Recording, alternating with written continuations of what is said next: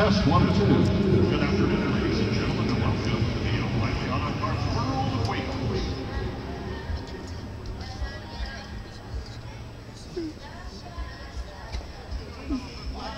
Wait.